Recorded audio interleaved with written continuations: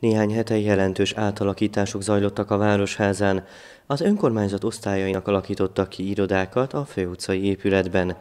A 2013-as év változásokkal indult a polgármesteri hivatalban is. Mi magunk már november, 2012. novembere óta szervezzük a, az életünket.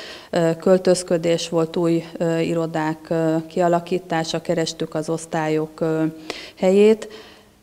Január 1-től pedig ugye a járás kialakítását követően pedig a, a régi, régi új feladataink ellátására tudtunk már koncentrálni.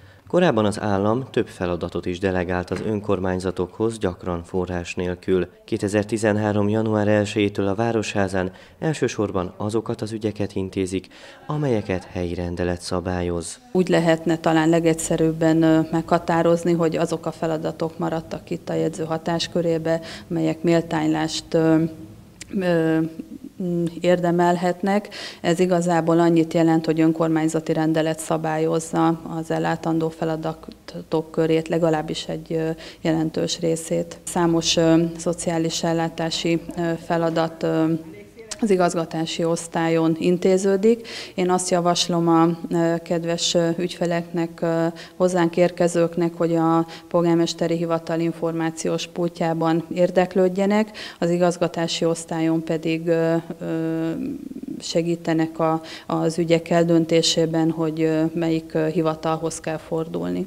Az idei évtől 73-an dolgoznak az önkormányzatnál, a kisegítő alkalmazottaktól a városvezetésig bezárólag.